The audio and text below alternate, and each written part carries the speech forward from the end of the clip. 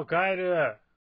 はい今回の新名機列伝はソレックス2です、えー、この台はですね最近までその名機としてインプットされてたんですけどもよくよく思い返してみたらそんなに名機だったらちょっと思い出せなくなってきたので、えー、実際に打って、えー、確かめたいと思います。はいでは打っていきます。これ子役はなんだ？一応チェリーがあるのか。でスイカがとかあるんですけど狙わないっていうか狙ってた記憶がないので適当に押します。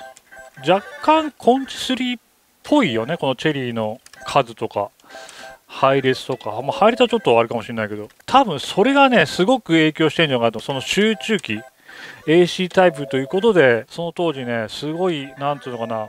コンチ3のイメージで打ってたっていうのもあるしその記憶があるからこの台はすごく面白いんじゃないかと思ってえー、たんですけどどの辺がじゃあ名機だったんだって言われたら全くわからないので ちょっと今後の展開次第でねおおっていうのがあれば、えー、名機と認定しますけどもそうじゃなかったらちょっとどうなんだろうと。だってこあ滑ったね。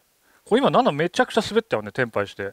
でも枠下に赤穴あるってこと入ってないね。この頃あフラッシュしたな。入ったやん。あウィンラブついたやん。あれ今だよねじゃあ。じゃさっきの成立ゲームじゃないよね。今フラッシュしたもんね。でもすげえしょぼいフラッシュだったよね。ちょっと真ん中しか見えなかったけどもしかしたら、ま、流れる常駐芸の縦1本だって。これねフラッシュいっぱいあるんですよ。何種類かな？9か12種類ぐらいあったと思うんですけども。その中で一番なんかしょぼいのが出ました。なんでビッグ入りました。速攻です。うんちょっとじゃあリーチ目ちょっと見ていく？えっとね右7外すじゃん。外すと基本7とスイカの一直線です。これが集中の時も同じです。7とスイカの一直線がいわゆるコンチセルでいう7の7箱7の一直線のそのだから7引っ込めないところで押した時にじゃあここ真ん中7押してうんリーチ目がどうかわからないね。今打って、えー、見ての通り7スイカの並び7の一直線これがもう基本形になるんでそこだけ見ていればって感じなんですかね。じゃあ揃えますかはい。えー、どこがかっこいいんだろうなんかこの辺ここ？あ、いいね。これ斜め？あ、いいね。かっこいいぞ、これ。はい。あ、これね、ごめん。オートベッドだからファンファーレ聞けねえわ。なんということでしょう。ファンファーレ聞こうと思ったら、オートベッドされちゃった。ごめんなさいね。ちょっとこの台の不要機が、こういうオートベッドになっちゃうんで。これ止まんのかな？前もこれだったかな？えー、っと、はい、大丈夫かな？はい、できますよ。もう大丈夫です。で、これ、あの、オートベットじゃないので、あの、ファンファーレ次から聞かせられます。ただ、次弾ければの話ですけど、ね、せっかく早く弾いて、ファンファーレどうやってやろうと思ったら、聞かせられないみたいな。一応、セテ6でね、298? 分の1ぐらいです、ビッグが。まあ、約300分の1なんでね、まあ、あと1、2回は引かないと、動画としてもね、ダメになっちゃうんで、引きますよ。うん、大丈夫。外しをどうしようかな。やる？外しできるんだっけ、これ。多分やるとしたら挟み撃ちなんですよ。いわゆる制御で外す感じのはずなんですけど、待ってよ、1、2、3。このチェリービタで外せるわ。ちょっと覚えといて、誰か。ん？うん。123ある。あここ。ハサミでも。いけるね。いける。だからあとはベルの時に。じゃあどこそうかな。ここかな。多分この辺。このチェリー上段ぐらいに押してれば。ああいけるはず。いけるいける。いくよ。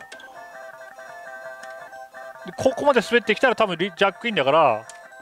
さっきのチェリーどこ行った？これか。これうわむずいってば。むずいって。いえ？あれ？これ外せる ?123 外せねえじゃんここ。え俺さっきどこ狙いっつった？え中ってな72個ある ?123 ダメだな。もうこれ切れ目ついてない。123こっちじゃん。えどうやって見極めんのこれ？こうか。こうやって見極めよう？配列。いやむずいなこれ。だから上から覗いて切れ目が過ぎたら過ぎてから見ていた7の下のチェリーがビタだ。違う方のチェリーをしちゃった。まさか中に7が2個あるとはな。あちなみにこれあのあれです。化けはないです。はい。安心して打てます。レギュラーボーナスがないので心にゆとりを持って打つことができるね。その分何も引かない可能性も全然あるんだけど。この台の場合は化けを削ることによって、えー、集中の確率を上げてんのかな？これ6でえあやべえ忘れた。6で585分の1ぐらい。あの集中がね。集中入れたいなあだからさっき言ったその7とスイカの一直線が出てこのウィンランプまあフラッシュとかなければもうそれで集中に入ったということでいいんじゃないですか？シングルはベルだよね、うん。まあ、あとほらコンチ3っぽいのは結局ピンクのチェリーがあるじゃない。それも影響してるよね。多分そうだな。チェリーチェリー黒で15枚っていう多分これ同一フラグなのかな？このソレックス揃いと赤チェリーの3連と赤チェ赤チェ黒。でピンクチェリーピンクチェリー赤チェリー。もしくは右が黒。っていうこの多分3つ同一フラグだと思うんだけど。ってことは左は一応チェリーだけ狙ってれば取り越しはないんではない。あでも赤だな。赤を狙ってればいいのか。まあこぼすのが嫌なんであれば赤チェリーを枠くないでいいんじゃないですか。ソレックスはね俺がマガジンに入ってこれ何年だろう？1年目2年目ぐらいに出た台じゃないかな。わかんない。とにかくね俺この台のデータ取りに行ってないんですよ。信頼のデータ取り。その時まだパチンコの方だったんで。多分この台は見かけた時にちょっと打ってた感じです。もちろんラッシュも何回も引いたことはあるんですけど一日中打つというイメージはないので大体3時間から5時間ぐらい遊びで打って、まあ、勝ったり負けたりしてた台なのかな。まあ当時7枚交換がメインなんでおそらく中間設定メインだったと思うんですよね。だやっぱ1だと辛いんで。だからそれなりに遊ばせてもらってたんですけども当時そこまで客付きが良かったっていうわけでもないよねこの台は。あの当時結局ニューパルがやっぱ一番人気があって設置出してもらった時代かな。なんかユニバ系って全然この当時そこまでじゃなかった気がするんだよね。大体さ俺今思ったんだけどオリエンタル2だってさあの筐体とか絵柄とかめっちゃかっこいいじゃん。けどあれじゃあ名義なのかって言われて俺そうでもねえと思うよオリエンタル2ね。あれノーマルだったら大したことないよな。裏だとめちゃくちゃ面白くなるんだけどね。この頃のユニバは大して俺は大して良かった記憶がないです。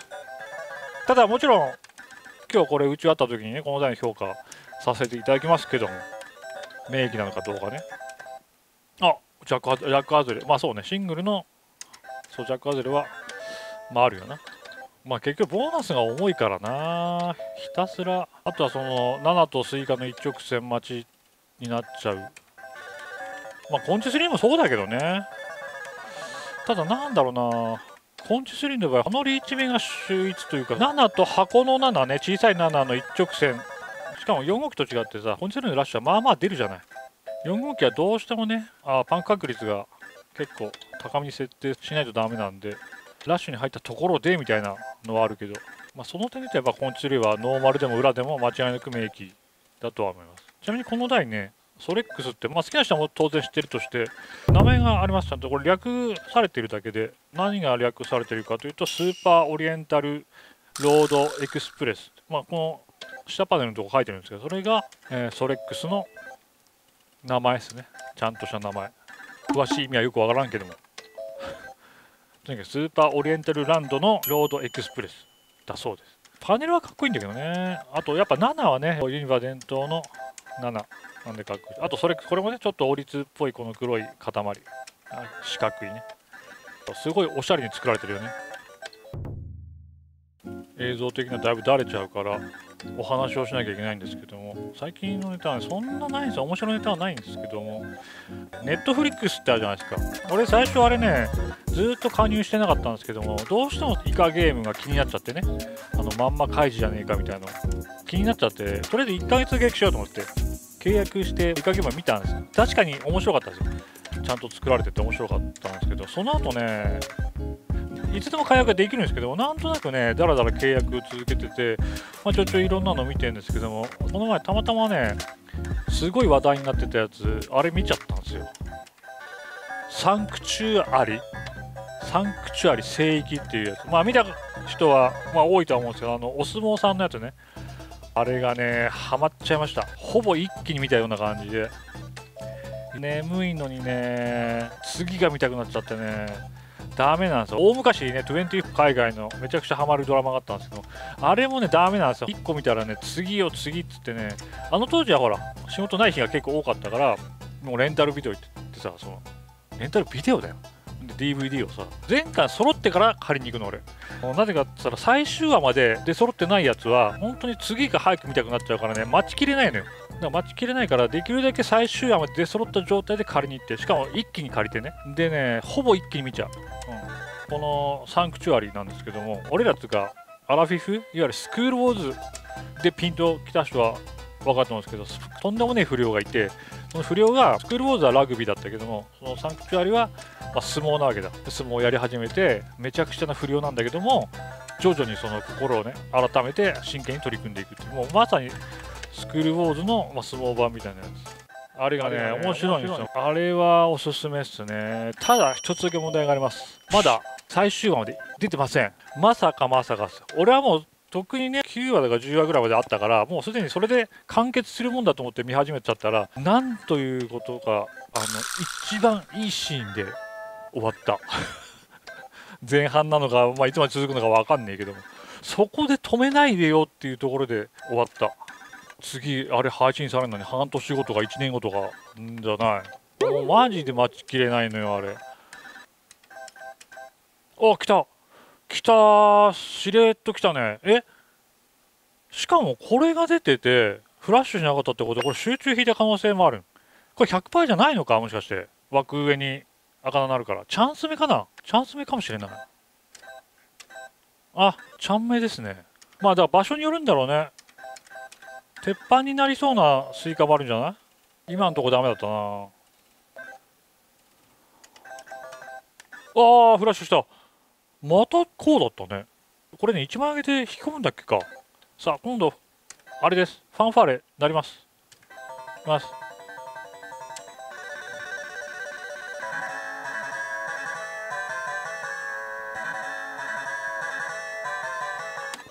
オリエンタルの最後の音だけちょっと違うね。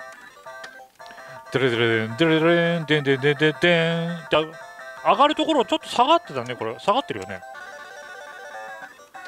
そうかじゃあ一応やっぱオリエンタルの後継機でいいんだ。リプレイが一緒だもんね音が。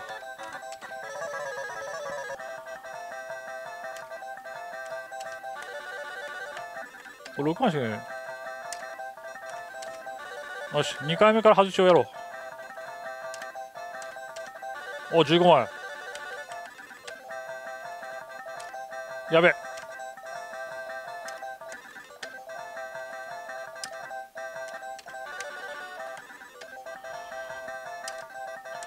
そうちゃんとここ狙ってこのチェリー上中段に狙っておかないとハサミ打つとこうやってこぼしちゃうからあこれでもジャックインだからあこれでセーグで外したね多分。これもジャックインだね。18ぐらいから2回目は入れる。入れる。うん。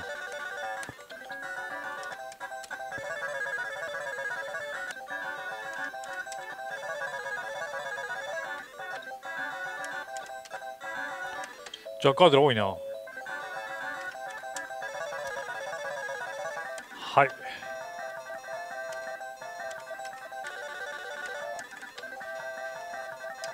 あ、やべえ。これはだから、あの、こっち、このチェリー、このチェリー、これを、うわーダメだった今のチェリーで合ってる？?1 あまた違うチェリーをしてるわ。ちょっと待って。これどうやってさどうやって切れ目どれ？どうやって見極めればいいんだろう？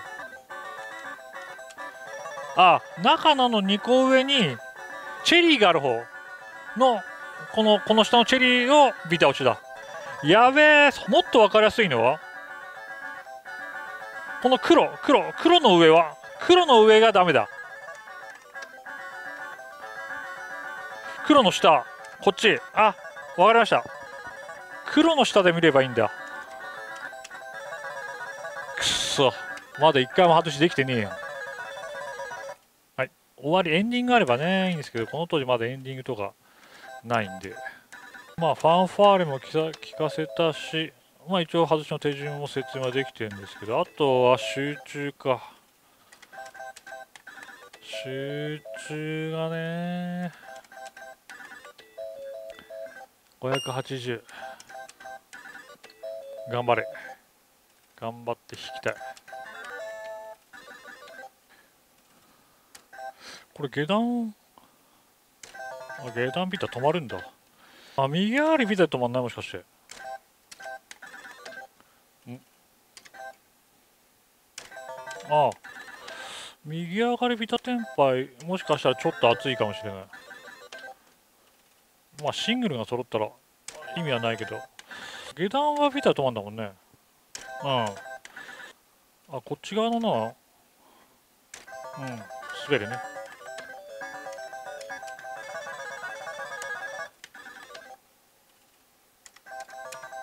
あさっきからもしかしてテンパイのところだけ見てたけど77スイカ出てた？これ集中入ったかもしんないね。ほら。集中このぐらい簡単なんだ来た。集中来ました。やべえ。引いた。なんか滑ってテンパしてんなと思ったらずっとね。ビダではないけどビダは多分ビッグ入ってんだよね。ほら。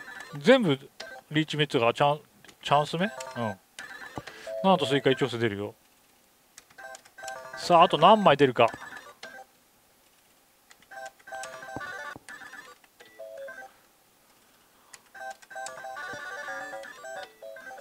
たね。まだ集中はね音があるわけでもねえからな。地味っちゃ地味だけどね。今3枚100ああジャックちょジャックハズレあるんです。ジャックハズレありますよ。はい。あスイカ今右滑った？77スイカじゃなくなったね。1回は大丈夫。1回ぐらい大丈夫？ああ、大丈夫だった。びっえもう、場所によっちゃもう一発で転落してるだろうね。うん。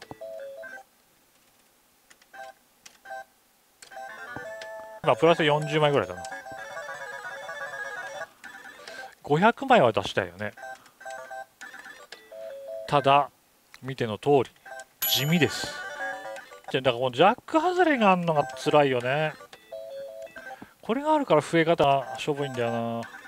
やっぱこのツリー毎回ねジャック外れもないしねあれ。腎臓が少ないのよ。あれ？いやいやいやまたまた。ああそうでしょ。もうびっくりした。これパンク150分の1ぐらい？中段チェリーも一応リーチ目だね。中段タンチェリーか。はいいよいいよ。このペースでいけばね。だからジャック外れきついって。何分の1はジャック外れ10分の1ぐらいじゃないの？いいね。7スイカスイカここがわかんねえな。この辺がチャンス目なのかどうかわかんね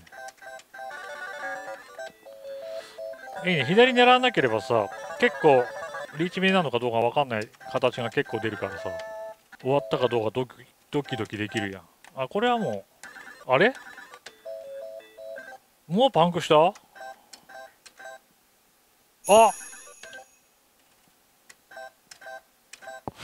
終わった。終わってるじゃねえかよ。プラス100枚もいかねえよ。90枚で終わったわ。これがあるのよね。まあ3号機でもあるっちゃあるけど4号機の集中機はこれがあるのよ。100枚とかで終わっちゃうのよ。ほんと。まあそもそもあれか。コントロールじゃねえから。ああ入った。またこうでねあれソレックスって9種類ぐらいフラッシュあると思ったけど、ま、3回とも同じだったね。ラストビッグで終わるか。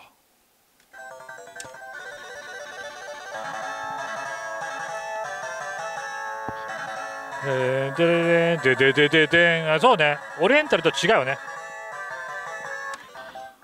ジャックインかよ。これを外す。えっ、ー、と黒の下黒の下のこれ。これの下のこここ。あこれでビタで外してます。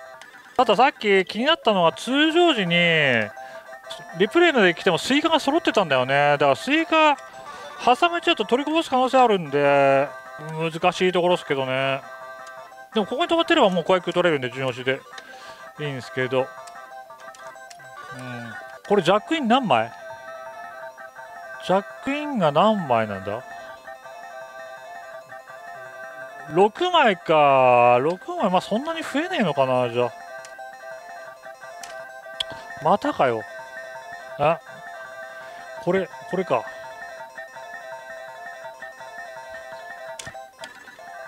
あまただよ。あこれやっぱここジャックインなんだ。終了早いな。まあでも終了だな。はい。では以上でソレックス2を終了します。まあ結構久々に打ってみて、まあ、当時メイキーだったんじゃないかっていう感じで、えー、思い出しながら打ったんですけどもまあ結果そうでもないっす。はい。あのー、ごめんなさい。もちろんこの台が好きでねあの思い入れがある人がいるのももちろん分かってますけども私の感想としてはそうでもないです。はい、まあ、ただあのー、ね久々に打って結構楽しめたんで良、えー、かったんではないかと思います。ありがとうございました。ご視聴ありがとうございました。チャンネル登録高評価よろしくお願いします。他の動画も見てくださいね。バイバイ